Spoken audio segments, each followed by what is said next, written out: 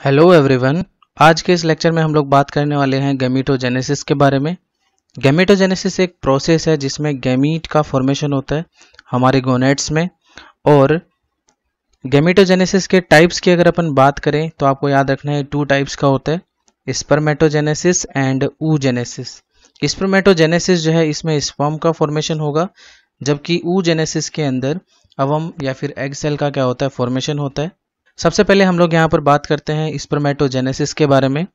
Spermatogenesis एक process है जिसमें फॉर्मेशन होता है किसका? स्पम का। और स्पम को हम लोग स्पर्मेटोजोआ भी बोल सकते हैं। और मोस्ट इंपॉर्टेंटली आपको याद रखना है यहाँ पर कि स्पम फॉर्मेशन का जो प्रोसेस है, वो टेस्टिस में होता है और टेस्टिस में भी कहाँ होता है? वो होता है सेमिनिफेरस ट्यूब्यूल्स के अंदर। ओके तो एक क्वेश्चन बनता है यहाँ पर कि स्पर्म फॉर्मेशन कहाँ होता है? सेमिनिफेरस ट्यूब्यूल्स के अंदर। अब हम बात करेंगे यहाँ पर स्टेजेस ऑफ़ स्पर्मेटोजेनेसिस के बारे में। तो यहाँ पर दो स्टेज में यहाँ पर स्पर्म का फॉर्मेशन होगा। नंबर वन यहाँ पर हमें फॉर्मेशन देखने को मिलेगा स्पर्मेटिड का। एंड नंबर टू होगा यहाँ पर स्पर्मियोजेनेसिस प्रोसेस स्पर्मेटिड का जो फॉर्मेशन होता है, इसमें क्या होता है एक्चुअली कि जो हमारे पास में स्पर्मेटोगोनिया है जिनको हम लोग स्पर्म मदर सेल्स भी बोलते हैं, जो कि नेचर में डिप्लॉयड होते हैं तो ये आपको याद रखना है। तो जो ये स्पर्मेटोगोनिया है, ये फर्दरली प्रोड्यूस करती हैं स्पर्मेटिड तो स्पर्मेटोगोनिया से स्पर्मेटिड का जो फॉर्मेशन होता है, उस प्रोसेस को हम लोग क्या नाम देंगे भाई? यहाँ पे कि ये फॉर्मेशन हो रहा है स्पर्मेटिड का। नंबर टू अगर हम लोग बात करें यहाँ पर तो स्पर्मेटिड जो है, इनका ट्रांसफॉर्म होना किसके अंदर? स्पर्म के अंदर। इस प्रोसेस को नाम दिया जाएगा स्पर्मियोजेनेसिस ओके अब हम स्टार्ट करते हैं सबसे पहले स्पर्मेटोजेनेसिस के बारे में। अगर स्पर्मेटोजेनेसिस प्रोसेस की अगर हम लोग बात करें यहाँ पे तो आपको याद रखना कि हमारे जो टेस्टिस हैं, उन टेस्टिस के अंदर हमें स्पर्मेटोगोनिया हमें देखने को मिलेगा।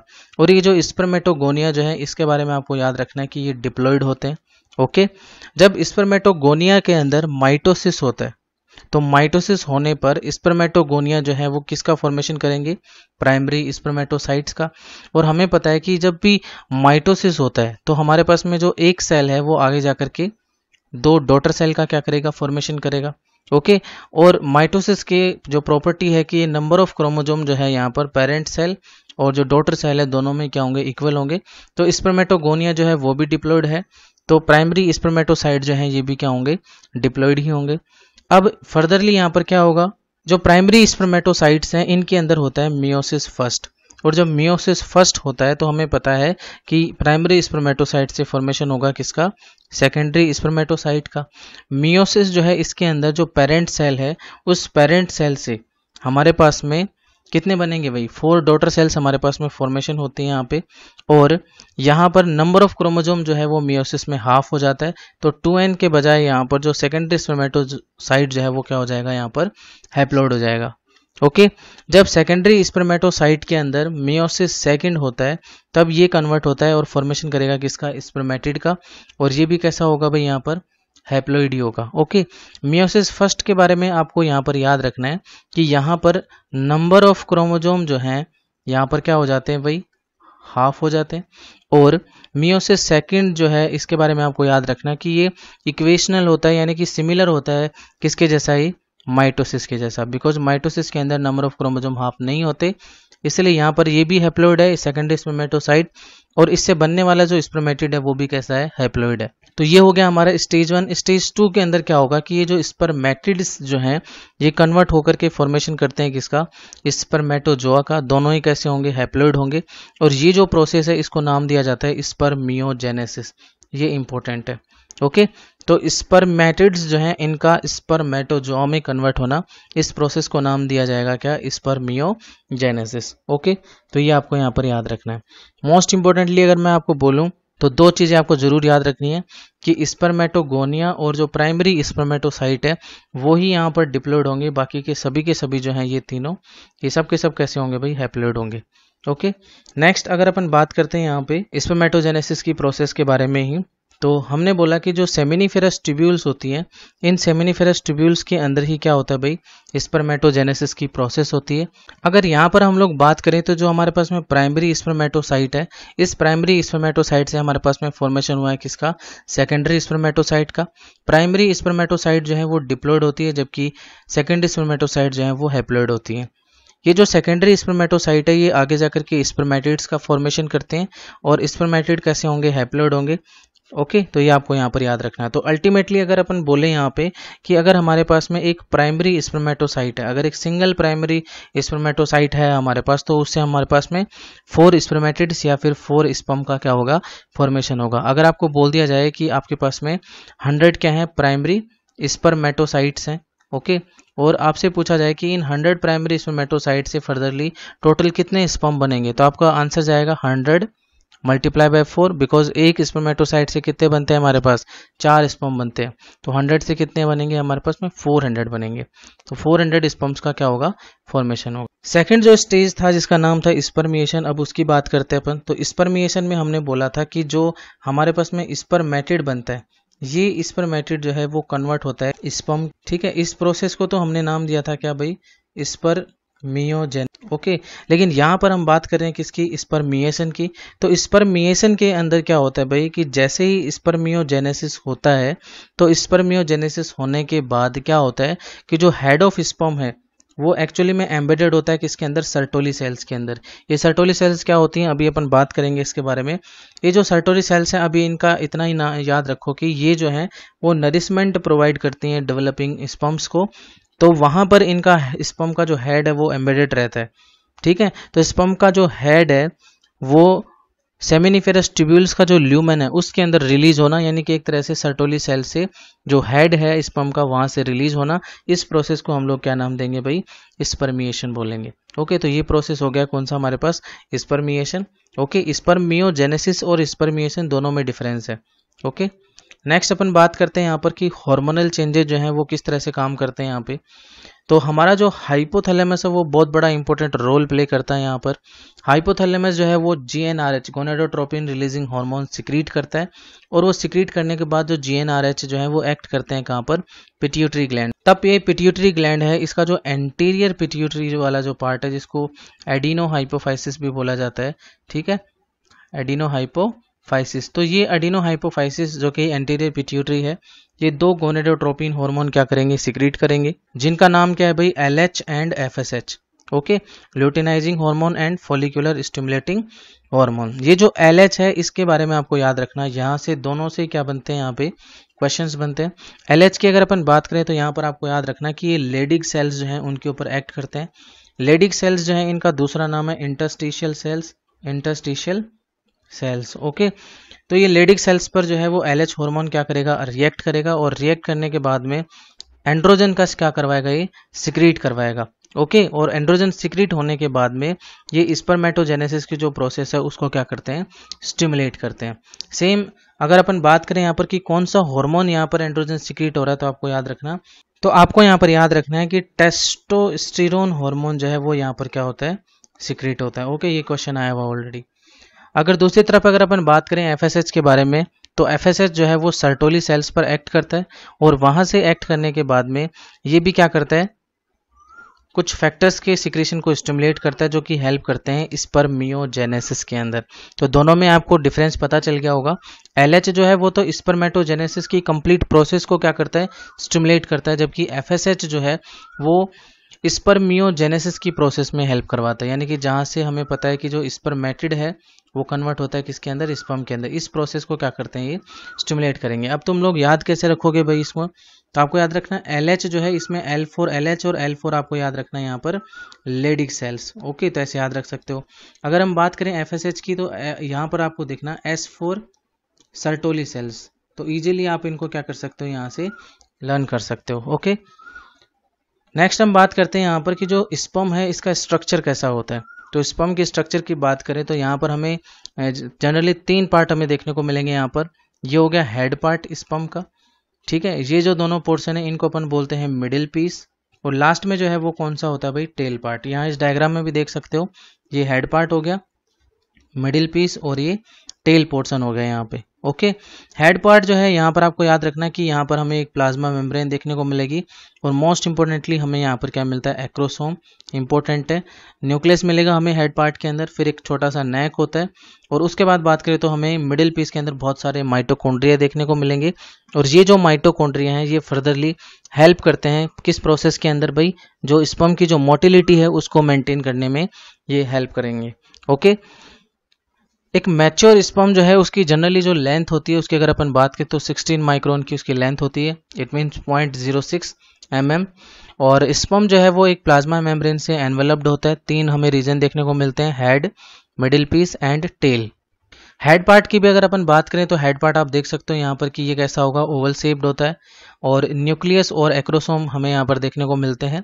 और वेरी इंपॉर्टेंट यहाँ पर आपको याद रखना है एक्रोसोम से क्वेश्चन आता है। एक्रोसोम जो है वो किससे फॉर्म होता है? गोल्जी कॉम्प्लेक्स से। और इसके अंदर एक लाइटिक एंजाइम होता है ओके लाइटिक मीन्स जो लाइसिस करते हो, जो चीज़ों को डिग्रेनुलेट करते हैं, ठीक है? तो वो एंजाइम रखता है और इस एंजाइम का भी नाम पूछा जाता है। तो इसके अंदर हमें हाई एलोरोनिडेज एंजाइम मिलता है।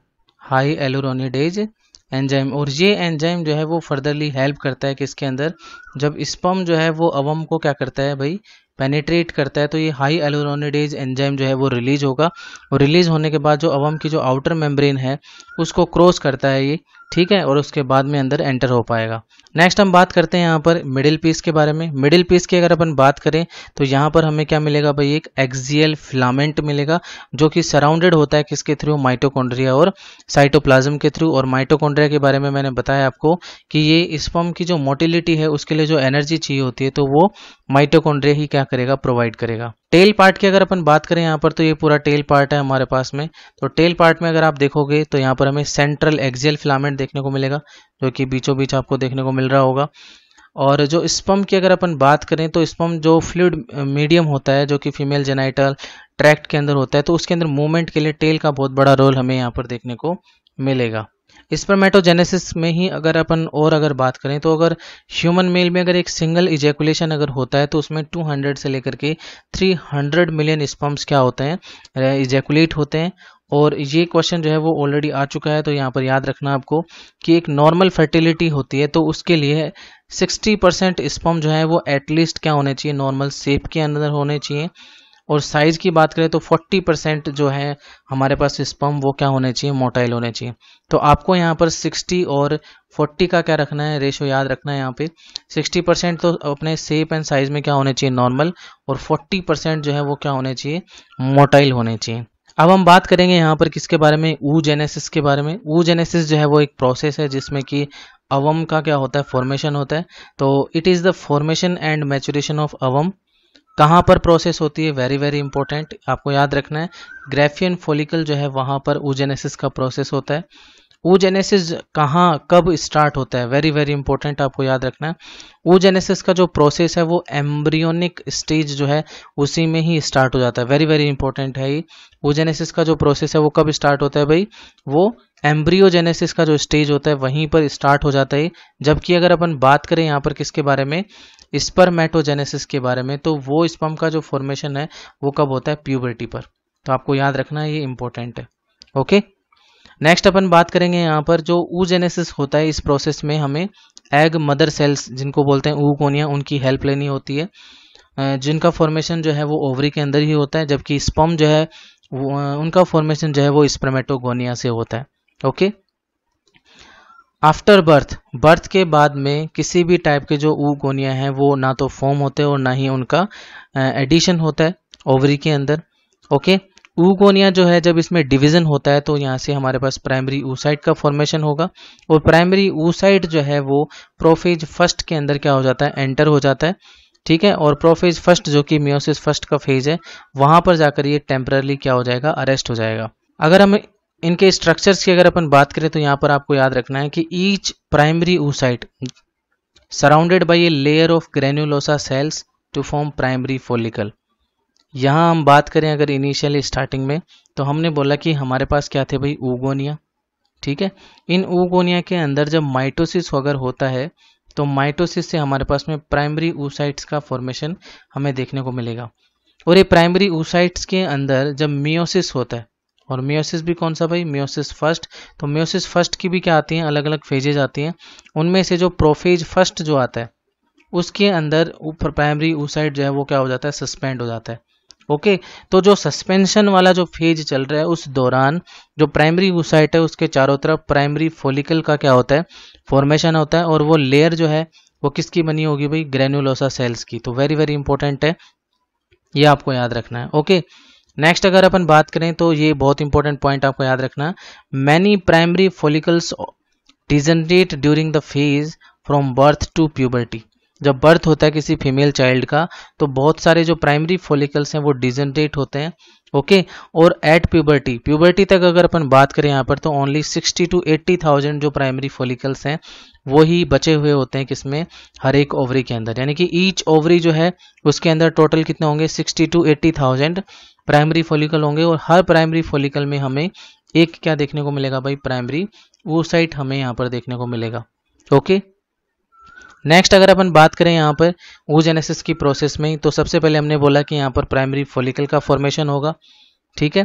प्राइमरी जो फॉलिकल है, जो कि ग्रेनुलोसा सेल से मिड ऑफ़ है, ये आगे जाकर के क्या बनेगा? एक और फोलिकल का फॉर्मेशन होगा, जिसको बोलेंगे secondary follicle then tertiary follicle and then Graafian follicle तो यहाँ से क्वेश्चन पुट ऑफ़ होता है कि मैच्योर फोलिकल किसको कहा जाता है? तो याद रखना मैच्योर फॉलिकल जो है, वो किसको नाम दिया जाएगा भाई? यहाँ पर ग्रेफिन फॉलिकल को दिया जाएगा।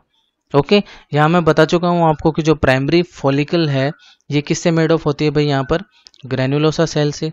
अगर हम बात करें यहाँ पर सेकेंडरी फॉलिकल की तो सेकेंडरी फॉलिकल के अंदर हमें यहाँ पर बहुत सारी ग्रेनुलोसा की लेयर जो है वो हमें यहाँ पर देखने को मिलेंगी और साथ ही साथ में हमें थीका जो सेल्स की जो लेयर है वो भी हमें यहाँ पर देखने को मिलेगी। टर्सरी फॉलिकल की बात करें तो यहाँ पर देखो यहाँ पर ये वाला जो साइट है, यहाँ पर हमें एक स्पेस देखने को मिल गया कैविटी जिसको अपन नाम देते हैं क्या एंट्रम ओके और यहाँ पर जो थीका लेयर है, वो दो लेयर्स में डिवाइड हो जाती है। जो इनर लेयर होगा, उसको अपन बोलते हैं theca interna and outer layer होगा, उसको नाम दिया जाएगा थीका एक्सटर्ना ओके और ये है हमारे पास में ग्रेफिन फोलिकल और जो ग्रेफिन फोलिकल है, इसको नाम दिया जाता है फुल्ली मैच्योर्ड फोलिकल और इस फुल्ली मैच्योर्ड फोलिकल के अंदर बीच में आप देख सकते हो कि एक डेवलप्ड हमें कैविटी देखने को मिल सकती है, जिसका नाम क्या है एंट्रम ओके नेक्स्ट अपन इसी में बात करते हैं कि जो प्राइमरी ऊसाइड था, जो कि सस्पेंडेड फ़ेज़ में था जब टर्सरी फॉलिकल का जब फॉर्मेशन होता है यहाँ पर तो उस दौरान क्या होगा कि उनके अंदर एक फ़र्स्ट अनइक्वल क्या होता है? मियोटिक डिवीज़न होगा मियोसिस होगा, जिससे कि उसके अंदर एक लार्ज हैप्लोइड सेकेंडरी ओसाइट का फॉर्मेशन होता है और एक छोटे से फ़र्स्ट पोलर बॉडी का क्या होगा? फॉर्मेशन होगा। अब वेरी इंपॉर्टेंट क्वेश्चन आ गया यहाँ पर हमारे पास। फ़र्स्ट पोलर बॉडी का फॉर्मेशन जो है वो कब होता है भाई? ये तब होगा जब प्राइमरी ओसाइट के अंदर क्या हो रहा है? First time unequal meiotic division होता है। ठीक है? तो यहाँ पर हमारे पास एक सेकेंडरी ऊसाइट बनेगा। ये हमारे पास में प्राइमरी ऊसाइट था। इस प्राइमरी ऊसाइट में जब डिवीज़न हुआ मियोसिस फ़र्स्ट का तो हमारे पास में फॉर्मेशन हुआ सेकेंडरी ऊसाइट का। लेकिन सेकेंडरी ऊसाइट के साथ साथ हमारे पास में यहाँ पर एक फ़र्स्ट पोलर बॉडी का भी फॉर्मेशन हमें यहाँ पर देखने को मिला है। ओके नेक्स्ट देखिए। So secondary oocyte retain the nutrient rich cytoplasm of the primary oocyte okay और it is unknown that whether the first polar body divide further or degenerate हम ये नहीं बता सकते कि फ़र्स्ट पोलर बॉडी जो formation हुआ है यहाँ पे, वो आगे जाकर के डिवाइड होती है डिजनरेट होती है। अभी तक ये चीज़ें अननोन है। नेक्स्ट अगर अपन बात करें यहाँ पर, हमने बता दिया कि जो टर्सरी फोलिकल थी, वो आगे जाकर के मैच्योर फोलिकल जिसका नाम है ग्राफिन फोलिकल उसमें ये चेंज होता है। और सेकेंडरी ऊसाइड जो है, उसके चारों तरफ़ जो है, वो एक न्यू मेम्ब्रेन हमें देखने को मिलेगी, जिसका नाम है zona pellucida okay Graafian follicle जब रप्चर होता है तो वो secondary oocyte means ovum release करता है फ्रॉम द ओवरी और इस प्रोसेस को ही हम नाम देते हैं क्या? ओवुलेशन नॉर्मली आपने सुना होगा कि जब ओवुलेशन होता है तो वहाँ से अवम क्या होता है? वहाँ से रिलीज़ होता है। बट आपको याद रखना कि वहाँ से अवम नहीं एक्चुअल में वहाँ से सेकेंडरी ऊसाइट क्या हुआ है? रिलीज़ हुआ है। तो ये आपको वहाँ पर याद रखना है। ओके नेक्स्ट अगर अपन बात करें, ये पूरा का पूरा फ़ेज़ है जिसमें अपन देख सकते हैं कि कब कौन कौन से चेंजेस हुए। तो हमने नाम दिया कि ये हमारे पास में क्या है एक अवम है, जिसका माइक्रोस्कोपिक डायग्राम दिया हुआ है यहाँ पे। तो हमारे पास में जो ओवरी थी, उसमें हमारे पास क्या थे भाई? उगोनिया उगोनिया हमें पता है कि वो डिप्लॉयड होते हैं, ठीक है? जिसमें 46 क्रोमोजोम होते हैं। जब इसके अंदर माइटोसिस होता है, और ये कब होता है भाई? एम्ब्रियोनिक स्टेज के अंदर। बिकॉज़ ऊजेनेसिस का जो प्रोसेस है, वो एम्ब्रियोनिक स्टेज से ही क्या हो जाता है? स्टार्ट तो ऊगोनिया जो है, इससे हमारे पास फॉर्मेशन होगा प्राइमरी ऊसाइट का। माइटोसिस हुआ है तो यहाँ पर नंबर ऑफ़ क्रोमोजोम सेम ही रहेंगे। इट मीन्स प्राइमरी ऊसाइट भी डिप्लॉयड ही रहेगा। अब यहाँ पर जो प्राइमरी ऊ साइट है, इसके चारों तरफ़ क्या होगा भाई? लेयर्स का फॉर्मेशन होगा। और लेयर का जब फॉर्मेशन होता है तो ये साइज़ में क्या होगा? इसमें ग्रोथ हमें देखने को मिलेगी यहाँ पे। ओके अब जो प्राइमरी ऊसाइट है, इसके अंदर क्या होता है भाई? मियोसिस फ़र्स्ट होता है। अब क्वेश्चन ये आता है हमारे पास में कि ये जो मियोसिस फ़र्स्ट यहाँ पर हो रहा है ये कब होता है? तो हम बोलेंगे कि ओव्यूलेशन के टाइम और पर फ़र्स्ट ओव्यूलेशन जो है वो कब होता है भाई? जब फ़र्स्ट क्या आता है? फ़र्स्ट मैंसेज जब आएँगे तब होगा। और फ़र्स्ट मैंसेज जब आते हैं तो उसको अपन नाम देते हैं मीनार्क। ठीक है? ओके तो मीनार्क जो है वो कब होता है भाई? जब प्यूबर्टी अराइज होता है। तो प्यूबर्टी के टाइम जो है वो प्राइमरी ऊसाइट के अंदर मियोसिस फ़र्स्ट जो है वो कंप्लीट होगा। और कंप्लीशन होने पर सेकेंडरी ऊसाइट का फॉर्मेशन होता है, जो कि हैप्लोड होगा। और साथ ही साथ एक फ़र्स्ट पोलर बॉडी का भी क्या होगा? फॉर्मेशन होगा। पोलर बॉडीज जो हैं, ये भी कैसे होंगे? हैप्लोड होंगे। और यहाँ पर ये वाला जो फ़ेज़ अपन ने बताया था यहाँ पर कि जो प्राइमरी ऊसाइट हमारे पास में बने थे, ठीक है, ये ग्रो होते हैं किसमें साइज़ के अंदर। तो यहाँ पर ये जो फ़ेज़ होती है, ये का, कब होती है भाई? एट बर्थ बर्थ के समय जो हमारे पास में प्राइमरी ऊसाइट जो है, इसके बारे में हमने बताया था कि ये प्रोफेज फ़र्स्ट के अंदर क्या रहती है भाई? ये सस्पेंडेड रहती है। और धीरे धीरे इसके अंदर क्या होता है? जो फॉलिकल्स जो हैं वो क्या होते रहते हैं? फॉर्म होते रहते हैं, जिससे कि प्रोफेज फ़र्स्ट का साइज़ इंक्रीज होता रहता है। ओके हमारे पास जो सेकेंडरी ऊसाइट है, ये ओवुलेशन होता है, तब ये रिलीज़ हो जाता है। ठीक है तो अब क्वेश्चन आता है कि यहाँ पर मियोसिस फ़र्स्ट तो हो गया, लेकिन मियोसिस सेकंड जो है वो कब होता है? तो मियोसिस सेकंड जो है वो कब होगा भाई? ड्यूरिंग फर्टिलाइजेशन जब फर्टिलाइजेशन होता है, तब। तब ये जो हमारे पास सेकेंडरी ऊसाइट है, ये कन्वर्ट होता है किसके अंदर? ऊटिड यानी कि अवम के अंदर, जिसको, और साथ ही साथ एक सेकेंड पोलर बॉडी का भी क्या होगा? फॉर्मेशन होगा। तो यहाँ पर आपको याद रखना कि अगर कोई एक नॉन प्रेग्नेंट अगर फीमेल अगर है, ठीक है? तो नॉन प्रेग्नेंट फीमेल में जब ओव्यूलेशन अगर होता है तो वहाँ से आपको याद रखना कि जब जब ओव्यूलेशन होगा, तब तब सेकेंडरी ऊसाइट क्या होगा? रिलीज़ होगा, और वहाँ पर क्या नहीं हो रहा? प्रेगनेंसी है नहीं फर्टिलाइजेशन हुआ नहीं है तो यहाँ पर क्या नहीं हुआ भाई? मियोसिस सेकंड जो है वो यहाँ पर कंप्लीट नहीं हुआ तो सेकेंडरी ऊसाइट ही क्या हुआ यहाँ पर? रिलीज़ हुआ और डिजनरेट हो गया। लेकिन अगर अपन बात करें कि कोई प्रेग्नेंट फीमेल अगर है तो इट मीन्स जब उसके अंदर ओव्यूलेशन हुआ, जब सेकेंडरी ऊसाइट रिलीज़ हुआ तो यहाँ पर जैसे ही स्पम जो है वो फेलोपिन ट्यूब के अंदर पहुँचता है और अवम को पेनिट्रेट करने की ट्राई करता है तो जैसे ही वो पेनिट्रेट करेगा पेनिट्रेट करते ही जो मियोसिस सेकंड जो है, यहाँ पर ये क्या हो जाएगा भाई? कंप्लीट हो जाएगा। तो ये आपको यहाँ पर याद रखना है। ओके अब हम बात करेंगे यहाँ पर कि जो अवम है, उसका स्ट्रक्चर कैसा है। तो इस स्ट्रक्चर में देख सकते हो आप आसानी के साथ में कि जो अवम है, ये बिल्कुल कैसा है भाई? यहाँ पर स्पेरिकल है।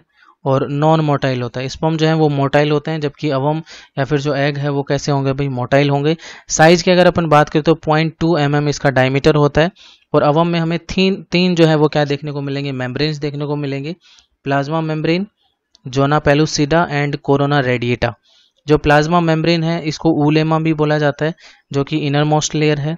ओके जोना पेलुसिडा जो है, ये प्लाज्मा जो हमारे पास में मेम्ब्रेन है, उसके जस्ट आउटसाइड होगा। और जो कोरोना रेडिएटा है, ये कहाँ पर होगी भाई? यहाँ पर ये आउटर लेयर है, जो कि जोना पेलुसिडा मेम्ब्रेन है, उसके भी कहाँ होगी? बाहर होगी। ठीक है, जो कि फोलिकल सेल्स है। इस डायग्राम में अगर आप देखोगे तो ये अवम के अंदर ये सेंटर पार्ट में जो है, हमें क्या दिख रहा है? इसका न्यूक्लियस पार्ट दिख रहा है यहाँ पर। और इस न्यूक्लियस पार्ट को जो कवर करने वाली जो मेम्ब्रेन है यहाँ पर, ये मेम्ब्रेन कौन सी है भाई? हमारे पास प्लाज्मा मेम्ब्रेन इस प्लाज्मा मेम्ब्रेन के आउटर साइड में जो ये आपको दिख रहा है ये जो लेयर है, ये कौन सी है हमारे पास? जोना पेलुसिडा और ये जो जोना पेलुसिडा के बाहर की तरफ़ जो लेयर आपको दिख रही है, उनको बोला जाता है कोरोना रेडिएटा जो कि एक्चुअल में फोलिकल सेल्स हैं। जैसे ही यहाँ पर स्पम जब आएगा और इसके अंदर एंटर करेगा तो एंटर करने पर क्या बनता है यहाँ पर फिर? सेकेंड पोलर बॉडी का फॉर्मेशन होगा। अब हम बात करते हैं कि जो स्पर्मेटोजेनेसिस है और ऊजेनेसिस है, इन दोनों में डिफरेंस क्या है? ओके तो देखिए भाई। नंबर वन स्पर्मेटोजेनेसिस की अगर अपन बात करें तो ये कहाँ पर होता है भाई? टेस्टिस के अंदर होता है। जबकि ऊजेनेसिस जो है, वो कहाँ होगा? ओवरी के अंदर होगा। स्पर्मेटोजेनेसिस जो है, इसमें हमें लिमिटेड ग्रोथ फ़ेज़ देखने को मिलेगी। जबकि ऊजेनेसिस के अंदर हमें इलेबोरेटेड ग्रोथ फ़ेज़ देखने को मिलती हैं लाइक प्राइमरी फोलिकल एक सिंगल प्राइमरी स्पर्मेटोसाइट है उससे हमें पता है कि फोर स्पम का फॉर्मेशन होता है। बजाय, अगर बात करें, एक प्राइमरी ऊसाइट जो है, उससे जाकर के हमारे, हमें केवल एक ही अवम मिलेगा। तो यहाँ पर अगर मैं आपसे क्वेश्चन पूछूँ कि अगर हमारे पास में हंड्रेड स्पर्मेटोसाइट्स हैं प्राइमरी स्पर्मेटोसाइट और हमारे पास हंड्रेड ही क्या है भाई? हमारे पास में यहाँ पर प्राइमरी ऊसाइट्स हैं। ठीक है? तो यहाँ पर बताइए आपकी यहाँ पर हमारे पास में number of sperm and number of ovum जो है वो कितने फॉर्म होंगे? ओके okay, अपना आंसर दीजिए। स्पर्मेटोजेनेसिस है इसमें किसी भी तरह से किसी पोलर बॉडी का फॉर्मेशन नहीं होता जबकि यहाँ पर ऊजेनेसिस के अंदर दो पोलर बॉडी का फॉर्मेशन होता है फ़र्स्ट और सेकंड और फ़र्स्ट पोलर बॉडी जो है, इसका फॉर्मेशन कब होगा? जब यहाँ पर हमें सेकंड ऊ साइड बनता है तब।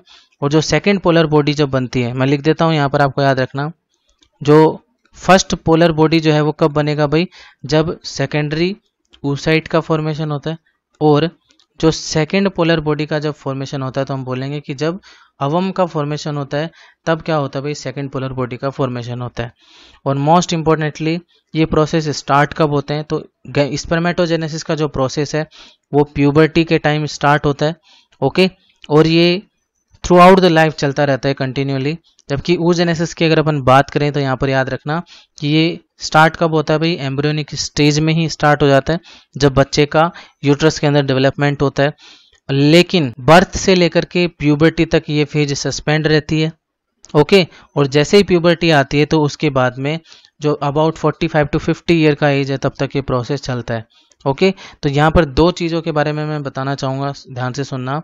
एक तो होगा यहाँ पर मीनार्क और दूसरा आपको यहाँ पर याद रखना है मीनोपोज। ठीक है? मीनार्क का मतलब होता है भाई मैंसेज का क्या होना, स्टार्ट होना प्यूबर्टी के टाइम। और मीनोपोज का मीन है 45 से जो 50 ईयर का जो एज होता है, उसमें जब मैंसेज क्या होते हैं, एबसेंट होते हैं। ठीक है? उसको बोला जाता है मीनोपोज। ओके? तो ये था किसके बारे में भाई? गेमिटोजेनेसिस के बारे में, spermatogenesis and oogenesis okay? Thank you.